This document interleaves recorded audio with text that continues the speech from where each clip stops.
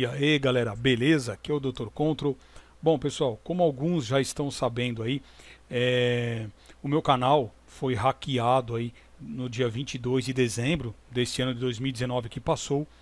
E eu ainda estou mantendo contato com o pessoal do YouTube para saber se eles vão conseguir devolver o meu canal ou não. Mas de qualquer forma, o que eles me pediram é que eu tenho que aguardar. Isso pode demorar uma semana, duas, um mês. Então, assim, eu achei por bem criar este outro canal, Dr. Control também, com o mesmo nome, e repostar as minhas aulas. Né? Então eu já consegui repostar aí a maioria das aulas de Excel, as aulas de Windows que está em andamento, aulas de, de Word, PowerPoint, né, entre outras aulas aí avulsas. Vou continuar repostando algumas aulas que eu consegui salvar do meu canal anterior, né, para que possa auxiliar as pessoas que já acompanhavam o meu canal. Mas eu quero também dizer é, como que eu fui hackeado, né? Eu fui fazer aí uma pesquisa e, esse, e esta aula de hoje é justamente também para alertar as pessoas que foram hackeadas para tomarem cuidados com algumas coisas básicas, né? A primeira coisa, claro, é você constantemente é, trocar a sua senha. É algo que eu particularmente não fazia. Né? Eu procurava usar uma senha meio, meio que para muitas contas e é um grande erro. Eu realmente vacilei.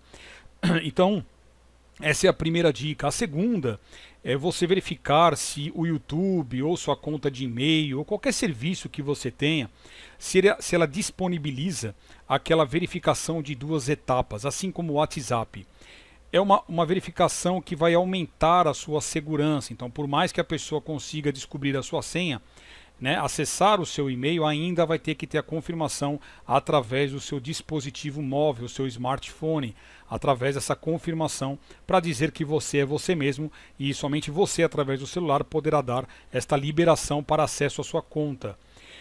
E a maneira como vocês podem descobrir né, se aquele seu e-mail, se aquela sua senha foi vazada na internet, né, até então eu desconhecia esses serviços mas como aconteceu comigo, eu fui atrás né, e acabei aí achando os seguintes sites. O primeiro é esse aqui que está na minha tela, que é o chamado minhasenha.com.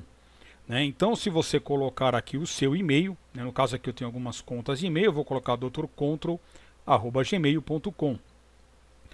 Eu clicando aqui em pesquisar, ó, olha aqui, ele já fala aqui o meu e-mail está na lista de contas vazadas. Claro que isso quando é, foi visto, né, na verdade, assim, como é que eu posso explicar?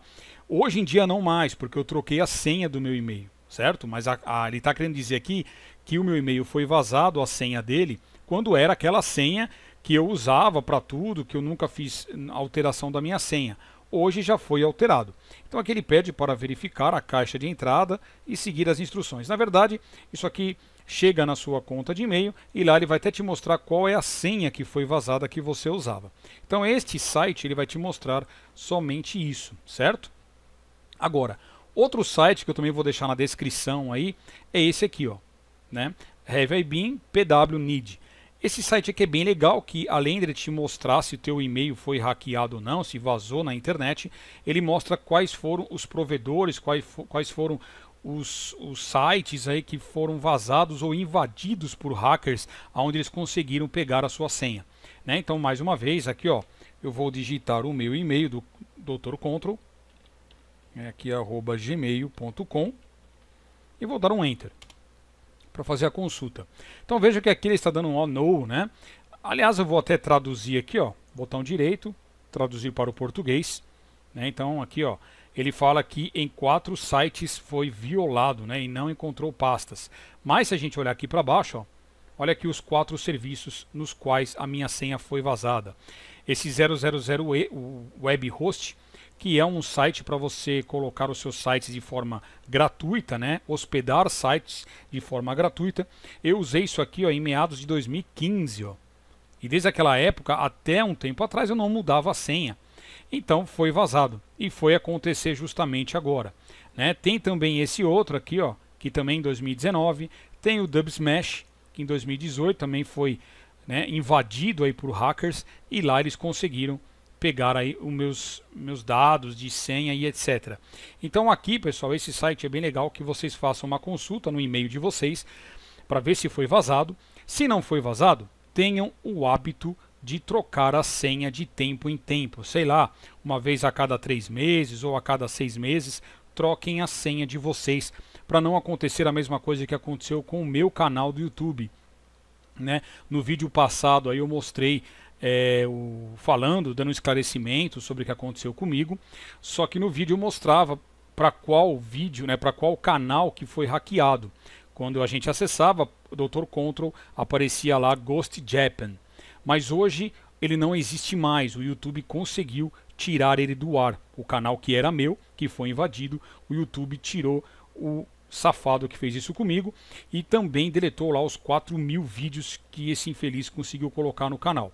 Né? Então, assim, a minha conta não existe mais por enquanto. Não sei se eles vão conseguir recuperar, mas de qualquer forma, eu estou postando algumas aulas aí. Estou postando essas daqui para vocês entenderem o que aconteceu comigo. Tá? Vou até entrar aqui no meu canal, Dr. Control. Ó. Agora, se a gente fizer uma pesquisa aqui como Dr. Control, ó, veja que eu já estou aparecendo. Ó. Né? Em alguns, alguns dias atrás eu não estava aparecendo na minha nova conta. Então, poxa, eu tinha 17.400 inscritos. Atualmente eu estou com 54 inscritos, né? Graças a algumas pessoas que já estão me encontrando e estão aí achando. Então tá aqui algumas aulas que eu já repostei, certo? Algumas coisas eu mudei somente a capa, mas ó, já consegui, vamos aqui na, na, nas playlists, ó. Eu já coloquei aqui, ó, aulas de PowerPoint. Isso aqui são os vídeos que eu marquei como gostei, tá? Aqui cursos de Word, de Windows que está em andamento, Excel e CorelDRAW que também está em andamento. Ainda vou postar mais aula aí para vocês. Tá bom, pessoal? Então eu peço aí encarecidamente para que todos vocês é, voltem a se inscrever no meu canal. Eu vou continuar postando as aulas e se eles recuperarem o meu canal antigo, eu não sei qual vai ser o passo que eles vão pedir para eu fazer é, provavelmente, se eu conseguir voltar com o meu canal antigo, eu tiver que fazer alguma migração, não sei ainda exatamente o que vai acontecer. Pode ser que esse canal aqui eu tenha que apagar novamente, não sei. Mas para que não fique aí deixando vocês na mão, eu criei, estou repostando, né? Meu canal ainda não tem monetização, não tem nada. Por isso até que eu peço, né? Eu ganhava um pouquinho, bem pouquinho mesmo por mês, eu estava ganhando. Então eu peço aí para quem puder também me auxiliar na descrição de cada vídeo meu, tem minha conta bancária, se alguém quiser ajudar, apoiar meu canal, porque eu perdi tudo que eu tinha, perdi a minha monetização e agora eu tenho que recomeçar tudo do zero, então até eu começar a monetizar, até poder ganhar alguma coisa para poder fazer vídeos legais para vocês, é um pouco demorado. Então se alguém puder me ajudar, eu fico muito, muito grato. Tá bom, pessoal? Então, espero que essas dicas tenham sido úteis. Eu vou ficando por aqui. Não esqueçam de curtir, de compartilhar esta mensagem, esta notícia do meu canal, o máximo que vocês puderem. Também coloquem coisas no comentários, o que vocês quiserem conversar comigo, estarei aberto. Tá bom, pessoal? Então fica aí o um forte abraço, Dr. Control, e até a próxima. Valeu, galera.